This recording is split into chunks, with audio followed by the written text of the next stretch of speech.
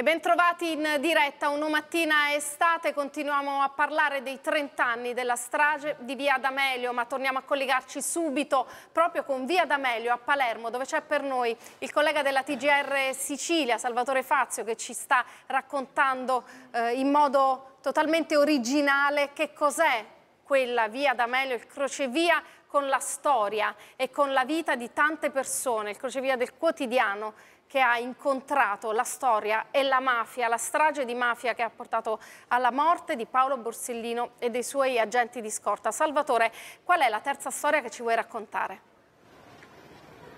Rieccoci Maria, ci troviamo sulla terrazza della casa di Raffaele Lupo. Lui si trovava qui il momento dell'esplosione e si è affacciato proprio da questa terrazza. Facciamolo anche noi, guardate, questa è via D'Amelio, vista dall'alto, uno scenario completamente diverso da loro. Da oggi ci sono le celebrazioni, ma immaginiamo le scene di allora, il fumo, le fiamme, scene che noi vediamo in tv, ma lei, signor Raffaele, quella scena l'ha vista qui dal vivo. Sì, sì, sì, in effetti ero qui con mio figlio, eravamo a letto per riposare dopo una giornata di mare e poi siamo stati investiti da questa, questa, grossa esplosione e poi sicuramente siamo svenuti e abbiamo continuato a dormire. Poi appena ci siamo resi conto di cosa era successo, che c'era eh, allarmi delle auto che suonavano, eh, elicotteri che giravano e così via, e abbiamo realizzato un attimino che c'era qualcosa di grave che era successo. E avete visto tutto quello che era successo. Guardate, qua c'è delle foto, delle foto di allora. Questo è un condizionatore che è stato scagliato, pensate, dall'onda d'urto sul letto. Esatto, esattamente. Il letto dove stavate dormendo, un miracolo miracolo che siete vivi. Mio figlio era proprio ai piedi di questo condizionatore, c'era i piedi di mio figlio, ma per fortuna è andata. La casa bene. è stata distrutta, ma anche la sua vecchia vita è stata distrutta. Mi diceva poco fa questa espressione molto forte. Per lei è stato come rinascere, perché? Come rinascere perché da quel giorno ci siamo resi conto che siamo stati graziati. Il Padre Eterno ha voluto, come dire, eh,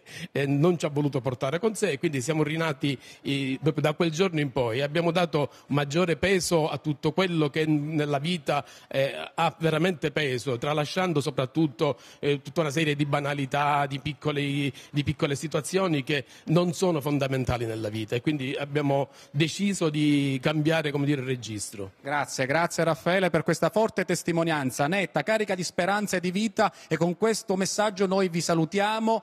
È tutto da Via D'Amelio, da Palermo. Buona giornata, grazie a voi.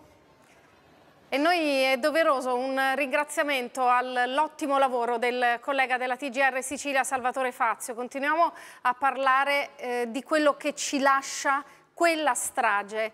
Eh, Paolo Borrometi, eh, è difficile ehm, ritornare a parlare dopo quello che abbiamo sentito, delle persone che hanno visto la storia compiersi sotto casa durante una domenica normale, erano tornati dal mare e c'è stato lo sconquasso, è arrivata la strage. Oggi la, lo Stato ogni anno, da 30 anni, celebra e ricorda la figura di Paolo Borsellino, ricorda i suoi agenti di scorta, però la famiglia ora chiede silenzio e ricorderà in silenzio il suo dolore. Qual è il modo migliore per ricordare Paolo Borsellino? Ma innanzitutto rispettare eh, la, la, la, decisione della eh, famiglia, tutto quello che abbiamo sentito dall'ottimo collega Salvatore Fazio e la paura che le persone che erano lì quel giorno hanno toccato con mano. Noi da giornalisti oggi abbiamo l'obbligo di raccontare chiaramente, di ricordare, ma poi fare silenzio in rispetto della famiglia. Da domani però continuare a chiedere verità e giustizia, continuare a porci quelle domande. Lo dobbiamo fare, è per noi fondamentale, perché se non si fanno i conti con la storia non si può andare avanti. E però ringraziare anche le istituzioni che in tutti questi 30 anni ci sono state a onorare una figura straordinaria qual è quella di Paolo Borsellino. Grazie a Paolo Borrometi, eh, giornalista, vice direttore eh, dell'Agi. Mm, io eh, volevo chiudere questo spazio, dopo aver ringraziato naturalmente i nostri ospiti, sulle note di un altro grande siciliano scomparso da poco che è Franco Battiato. Ascoltiamo. Difendimi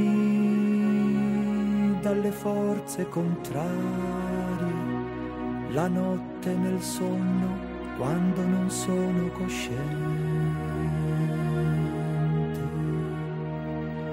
Quando il mio percorso si fa incerto e non abbandonato.